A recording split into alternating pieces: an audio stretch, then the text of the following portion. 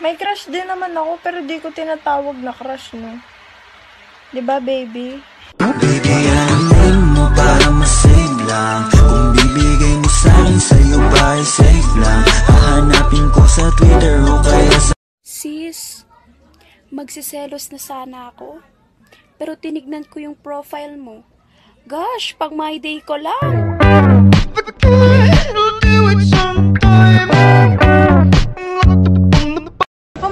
Love life mo? Ano po, mahirap po. Ba't mahirap? Kasi po, yung crush ko po, hindi po ako gusto. hindi naman po ako desperado. Kung sino man ang gusto niya, edi yun lang po. Basta happy siya, happy na rin po ako. Uy, ano yan, Emil?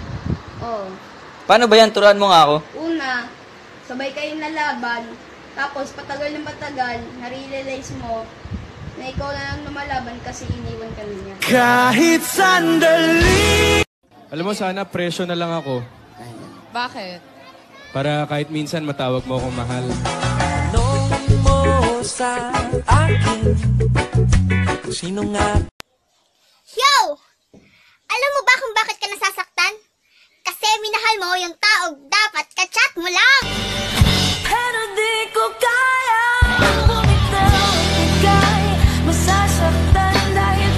Kayong greatest white? Wala. Ba't wala? Akala ko ba coffee shop to yung kapitbahay nga namin. Meron ito, wala. Ah, sige, ito na lang ano. Caramel Maki. Oh! Wah!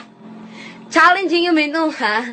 Mahal na nga, ayaw pa mag- Sabi nila magaling ka daw mag-lip-sync, pero hindi ako sure kung magaling ka talaga mag-lip-sync. Kasi kung magaling mag-lip-sync, masusundan mo yung sinasabi ko kahit mabilis to. And kung nasundan mo yung sinasabi ko kahit mabilis to, edi ikaw talaga magaling mag-lip-sync. So magaling ka ba talaga mag-lip-sync? Sige nga, sundan mo to. O ano? Matapang ka? Sige nga, ipaglaban mo nga ako. Kalimutan kahit nahihirap Aray! Aray, nauntog ako. Nauntog ka? Buti ka pa nauntog na ako kasi hindi pa eh. Gusto ko na magka-jowa! Ang hirap mong landiin! Ako ay natin na kahit anong gawin ko Upang maalis lang sa isipan ko Bebe, what does mean by mahal kita? I love you. I love you too. Caregiver? I am a corporate communications manager. I am required to have an extensive vocabulary so I never use inane and poorly worded language like black sheep and old maid to describe the people I just met. Nakaka-nosebleed yun. Bobby, i-Facebook na si Nicole, kontakin si Nicole dahil siya magiging bida kontra bida sa kasalang ito. Kapag nagtanong ang pare ng any objections, siya magsasalita ng I object. And I object to that idea.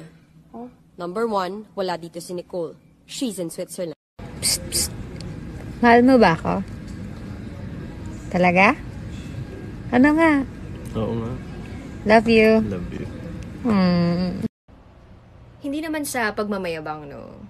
Pero, ligawin talaga ako.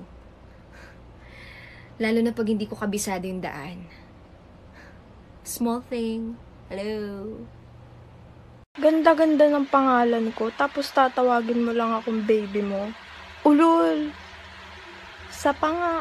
Ikaw aking dasal, panalangin Hiling sa may kapal at dalangin Salamat Ang sakit ng mata ko. Parang wala na akong makikitang katulad mo.